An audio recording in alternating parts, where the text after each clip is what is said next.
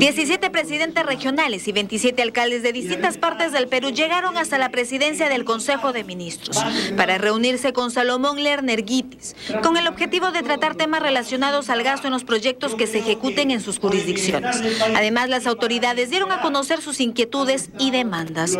El presidente de la República, Ollantumala, también participó unos minutos de la reunión.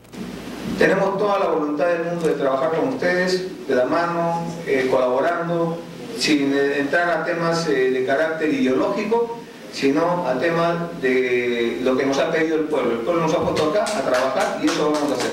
Hemos esto, concordado con los presidentes regionales y con los alcaldes de las necesidades que tenemos, eh, algunas dificultades que hemos escuchado de parte de ellos para que este gasto sea oportuno, eficiente. Hemos tomado de nota para conversarlo. Eh, básicamente ustedes podrán entender que es eh, parte de los controles y fiscalizaciones del Ministerio de Economía y Finanzas, pero vamos a hacer todos los esfuerzos que estén a nuestro alcance para que ellos se vayan superando. Ante el pedido del Ejecutivo a las autoridades regionales y locales para que el gasto en los proyectos sea eficiente, algunos de ellos se pronunciaron y sostuvieron que apoyarán la propuesta.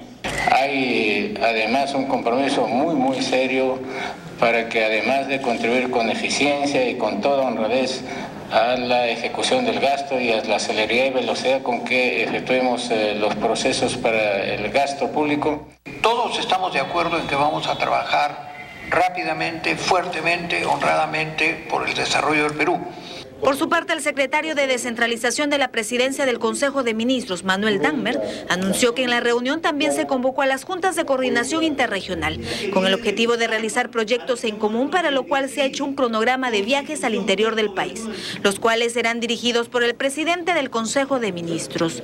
Que ha habido un acuerdo, que ya está en camino, las juntas de coordinación han precisado las fechas se va a empezar la primera ronda de juntas interregionales en el norte, el día 21 de septiembre, con la asistencia, puedo confirmarlo, del presidente del Consejo de Ministros y de los presidentes de todos los gobiernos regionales de la zona norte del país, que comprende también a San Martín, que es una integración norte y una parte de la Amazonía.